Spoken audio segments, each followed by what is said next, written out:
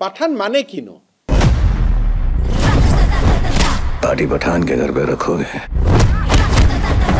तुम्हें मुन्नाबाजी के लिए पठान तो आया। और पटाखे भी लाएगा। बाप रे ইমান ইম্পর্টেন্ট মানুহ বুলি মই ভাবাও নাছিলো সেইখন আমি চাম को আহিলে